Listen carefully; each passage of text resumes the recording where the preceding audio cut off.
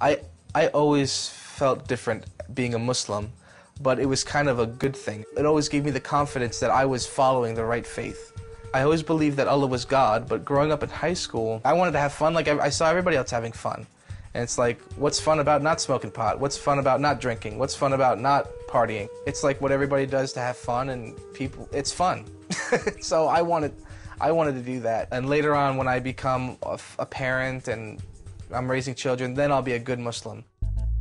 I always had a love for music and I had a passion for music. I really, really wanted to just do something in the music business, something in the music. I just, um, I just had a love for it. The day that Eddie met me, the Lord spoke to him and said, I want you to take Khaleed on the road with you. I'm going to save him and it was it's kind of funny because it was right after 9/11 had happened, and Eddie was not trying to take no Muslim into his into his ministry.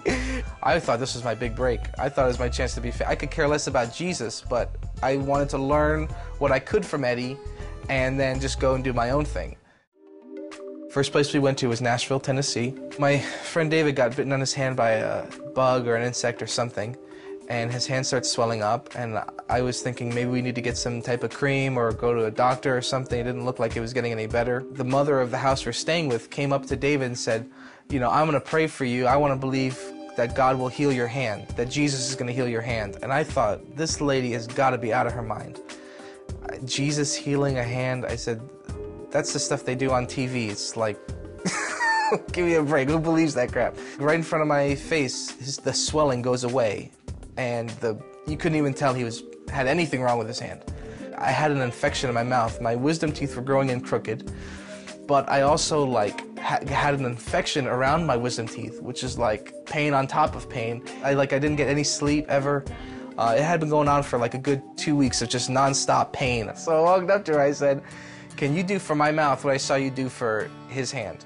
And when she started praying for me, it was like gone. I knew it was gone. I just needed a minute to come to grips with, with, with what just happened. I remember sitting in the chair after she prayed for me. I sat down, I go, oh my God, my whole life is going to change.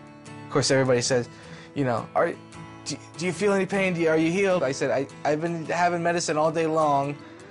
Just let me go to bed. I'll sleep on it and I'll tell you in the morning. So I ran downstairs and they had these sugar molasses cookies and I started shoving them in my mouth, you know, letting it marinate and trying to push it around in there, trying to agitate it, get get the pain working. And there was absolutely no pain, and I began to really start freaking out. I started, and I uh, I started punching myself in the face, trying to make some type of pain in my teeth and my face. And I realized that Jesus was God. I never knew that that God would be involved in a human life so personal that he would set them free and deliver them and and that he would care enough to, to do that and intervene. It was a month after I got healed. We went to this conference in Alabama and it was the first time I heard the voice of the Lord and, and the Lord spoke to me and said, uh, if you want to know if this is real, get up and see for yourself.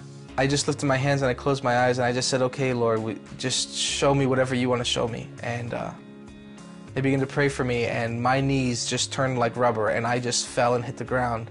I couldn't stand. I said, okay, Lord, for real, God, Jesus, whoever. I said, I really want to, I really want to know you. I really want you to give me all that you got. And so I just raised my hands and with nobody touching me, I just, nobody laying hands, I I just fell over like a ton of bricks. I felt like my I left my body and I kept going up and up like through the roof and I, I feel like the Lord took me to to heaven. The best way for me to describe it was that if love had a color, it's all that I saw.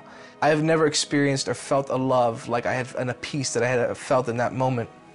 I just had an encounter um, with him and it didn't matter to me what he was. I knew I wanted to live for, for that God. I mean, he gave me a promise when I first gave my life to him that he was going to save my whole family. He's going to start with my sister, my mother, and then my father. So since then, my sister has come to the Lord, and a couple years after that encounter, my mother came to Christ, and so now they're both serving the Lord, and we're just uh, believing uh, the Lord to, to fulfill what He said He was going to do, and and uh, go ahead and save my dad.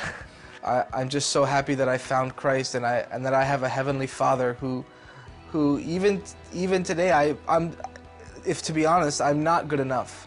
but I have a, I have a heavenly Father who loves me even in my weakness.